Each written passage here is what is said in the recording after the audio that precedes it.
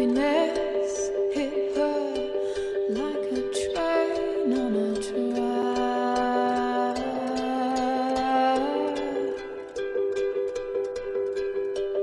Coming towards her